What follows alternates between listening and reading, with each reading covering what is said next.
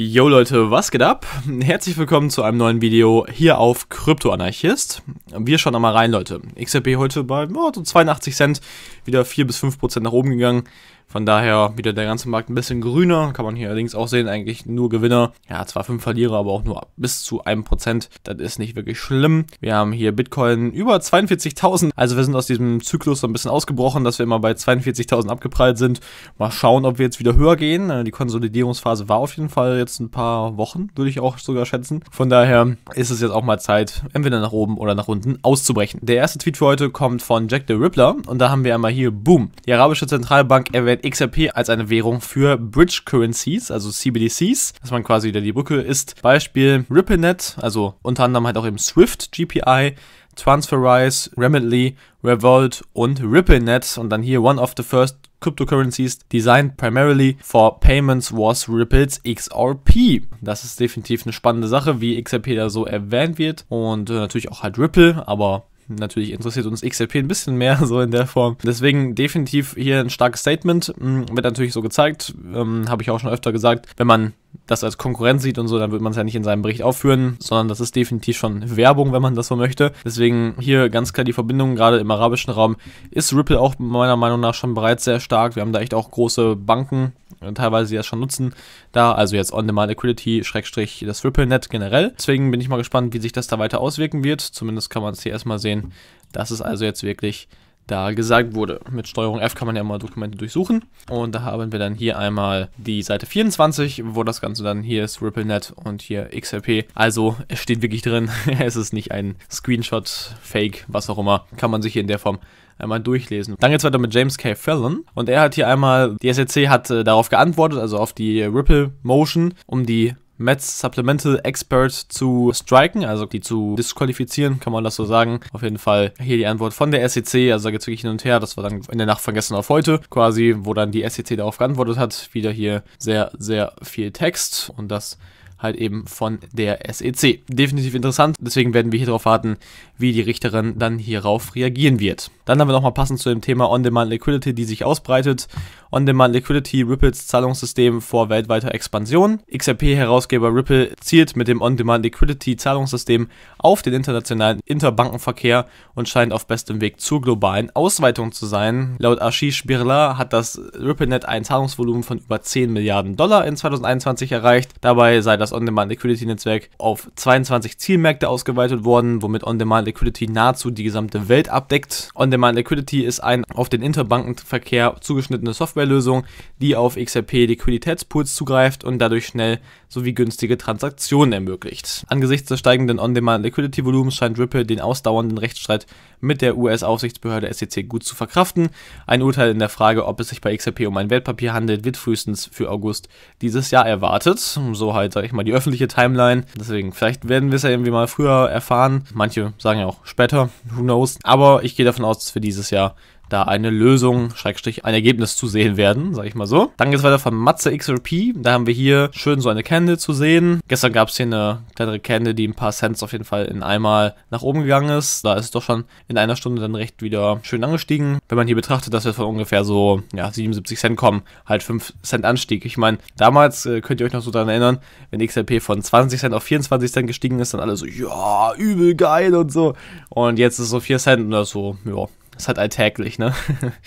Dann geht es weiter von Peter Zilagi und ähm, hier geht es einmal um Ethereum und er schreibt hier, die Komplexität hat sich niemals äh, verringert, also die wurde niemals weniger. Jedes neue Feature und so weiter wird einfach nur oben noch drauf geklatscht, sage ich mal. Jede große Änderung, sei es 1.559 oder der Merge, der jetzt kommt, Charting, Workle, Stateless, Layout 2 und so weiter, ist immer nur ein weiterer Nagel, zack, zack, zack, immer weiter oben drauf. So sieht er es hier. Es ist extrem frustrierend für ihn, wenn irgendeine Nachforschung oder irgendein Research zu dem Ergebnis kommt, dass alles jetzt bereits herausgefunden wurde und es jetzt nur noch entwickelt werden muss. Hm. Ist natürlich so ein bisschen tricky, so muss jetzt nur noch ähm, umgesetzt werden, sagen wir es mal so. Da kommen aus meiner Sicht halt viele Dinge zusammen, genauso wie Alice hier das hier sagt. Ethereum ist in so vielen Problemen und äh, das ist einfach nur ein weiterer Punkt zu diesen ganzen Problemen, die da existieren. Zum einen natürlich auch Skalierungslösungen, bin ich der Meinung, ist ein sehr wichtiger Punkt. Klar, der Merge, den kann man jetzt gut finden oder schlecht finden, aber natürlich macht es eben auch Sinn, dass man von Proof of Work weggeht. Proof of Work ist aus meiner Sicht auch sehr, sehr outdated und da kann ich eben nachvollziehen, dass er dann Vitalik-Ethereum Ethereum generell, ich sag mal so, die Reißleine zieht und sagt, okay, komm, wir müssen jetzt einfach ummergen, wir müssen jetzt einfach auf ein neues Verfahren umsteigen, sonst wird das hier irgendwann sehr, sehr schwer und äh, das denke ich natürlich auch. Gerade mit diesem Skalieren von Minern ist halt eben auch aus meiner Sicht schwer, weil es wird einfach nur noch viel, viel mehr zunehmen, die ganze Komplexität und die ganze Nutzung von Coins irgendwo, sei es jetzt Ethereum oder andere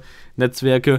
Und äh, wenn die alle dann halt neue Miner brauchen und so weiter, wird es halt definitiv viel, viel schwieriger werden. Und deswegen sagt er hier, dass Ethereum bald in sehr, sehr großen Problemen sein wird. Und wenn Ethereum dann irgendwann mal so ein bisschen an seinem Marktanteil verlieren wird, dann wird das ganze Geld natürlich in andere Projekte irgendwo fließen müssen.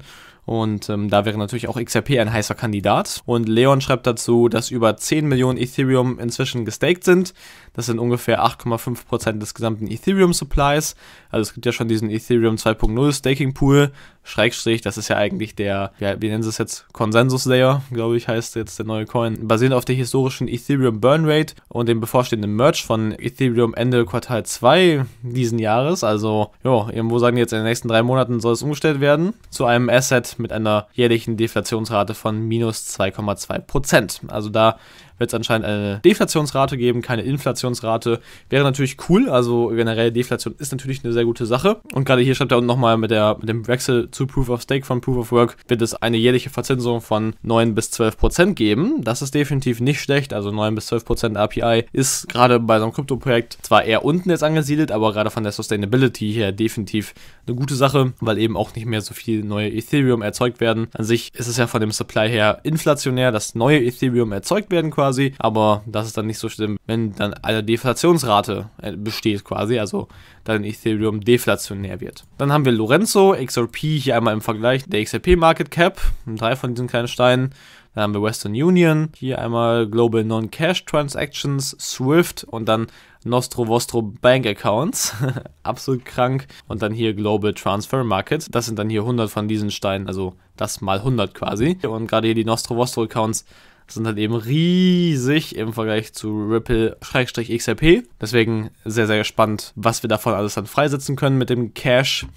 Dann haben wir 121 Millionen XRP wurden von unbekannten Adressen geschiftet, als die meisten Top 10 Coins äh, ins Rote abgedriftet sind, also ins Negative. Also eine Verlustrate quasi hatten, ne? also Minus gegangen sind. Und ähm, ja, da sieht man definitiv, da ist eben noch Bewegung drin. Es gibt viele große Adressen, die jetzt auch für den Whale Alert noch nicht bekannt sind, so in der Form. Ne? Man weiß noch nicht ganz, okay, was sind das für Leute. Dazu sehen wir hier einmal die Transaktion auf Whale Alert, also 85 Millionen XRP, was gerade ungefähr 68 Millionen Dollar sind. Dann ein ganz spannender Punkt, und zwar Vitalik Buterin ist auf dem Time Cover. Der Prinz von Krypto hat ja, so Zweifel oder so negative Bedenken. Und das ist halt so ein bisschen das Ding hier, ne? Er wird jetzt hier als der Retter so hingestellt, ne? Der jetzt irgendwie Krypto, Schrägstrich, die Welt retten will. Keine Ahnung, Ethereum Creator Vitalik Buterin äh, setzt sich ein, um die Welt zu retten, die er erschaffen hat. Also, ja, ich weiß auch nicht, ob man das so, so gut sagen kann, ne? Fix the world he created.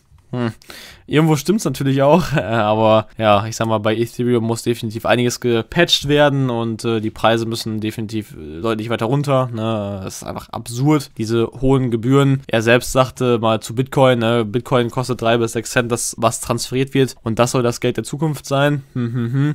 Hat er damals gehatet. Mittlerweile hat sein Coin geführt das 800-fache an irgendwie Gebühren und so. Hm, ja, alles nicht so ganz optimal, sagen wir es mal so. Aber er wird hier irgendwie anscheinend jetzt als Held Held, Schrägstrich so als das Gesicht von Krypto dargestellt. Vor allem, er steht ja auch extra wieder so richtig wie so ein komischer Typ. Ne? Also ich, ich verstehe es auch manchmal nicht, warum man dann sich so hinstellt, so, der wirkt sehr, sehr komisch. Das kostet ihn ja nichts, wenn er sich wirklich mal so ein bisschen cool hinstellt, mal so ein bisschen, weiß nicht, die Arme verschränkt oder mal in die Kamera guckt, sich mal ein bisschen schick macht und so weiter. Also, no hate, ich finde es ja cool, dass er da so ganz normal auftritt und sagt, ja, mir ist das eigentlich egal, wie ich hier abgelichtet bin, bla bla bla. Aber ich finde, das sieht wieder so komisch aus, wie er da steht und auch seine Körpersprache und so. Er wirkt da echt so deplatziert passiert, ich weiß auch nicht, ey. Dann geht es noch weiter. Er hat wohl auch einen Ehrendoktor bekommen, einen Ehrendoktortitel, damals in 2018 für Innovative Thinker. Und dann fragt The Art of Satoshi, wie viel Ethereum-Spenden die dafür angenommen haben. Und er sagt dann hier, hier, wir sind jetzt alle reich, ich kann es nur empfehlen. Also auch wieder absolut absurd. Und Vitalik Buterin hat auf jeden Fall auch viele Anfeindungen da bekommen. Äh, das geht natürlich nicht, aber man muss sich auf der anderen Seite auch eben bewusst sein, klar, wenn man sowas postet, dann gibt es natürlich auch eben viel Hate da in der Form, wie die Times hier schreibt, ne, er setzt sich für die Krypto-Rettung ein. Und äh, ja, hier gibt es ein paar echt sehr, sehr negative Tweets, ne? also wo er wirklich dann so ein bisschen runtergemacht wird negativ äh, ja, dargestellt wird, ne? so Tom Brady of Wish und so. und dann geht es nämlich noch weiter. Und Greg hat dann geschrieben, ich werde die Hater jetzt anschreiben, hat dann den Leuten geschrieben, ey, nimm das zurück, was du gesagt hast über Vitalik. Und dann antwortet David Schwartz darauf und sagt, okay, du hast gewonnen, ich werde alles zurücknehmen.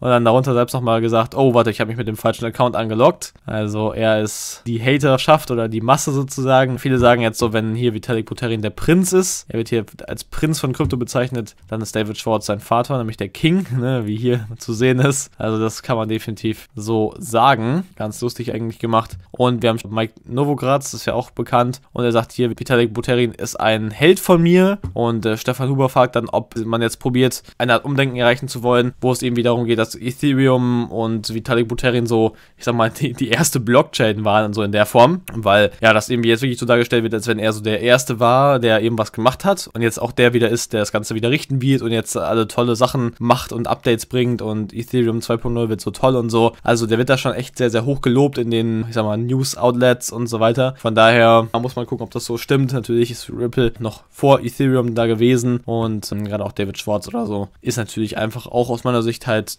talentierter, Schrägstrich begabter, Schrägstrich wahrscheinlich auch intelligenter als er, würde ich sagen, also als Vitalik. Aber es gibt ja mehrere Plätze an der Spitze. Dann haben wir The Wrath of Kane Man mit äh, Tracking der Ripple-Nutzer Bcash, inklusive On-Demand Liquidity, ist Remittance-Partner von MTB Bangladesh. Kann man hier einmal sehen. Ich frage mich zwar immer, warum die immer die Fotos in so grauenhafter Qualität hochladen müssen. Ich meine, als ob man 2022 nicht eine bessere Kamera hat als das, was man jetzt hier sieht. Äh, aber es geht ja um die News und äh, das MTB-Team trifft sich mit Bcash. Das ist auf jeden Fall eine ganz coole Sache. Und äh, da kann man hier mal sehen, dass die Bilder alle so ein bisschen sehr, sehr verschoben sind hier. Dann geht es noch weiter von MC. Er hat hier einmal Ripple stellt Direktor für Carbon Markets ein, um das Geschäft auszubauen.